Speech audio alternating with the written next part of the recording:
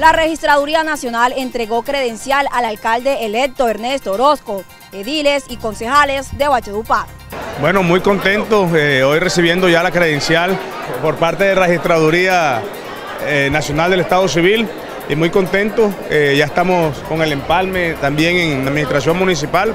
Tenemos la disposición y reiteramos nuestro compromiso de trabajar por Valledupar, hacer las cosas bien, con el nuevo alcalde trabajar de la mano.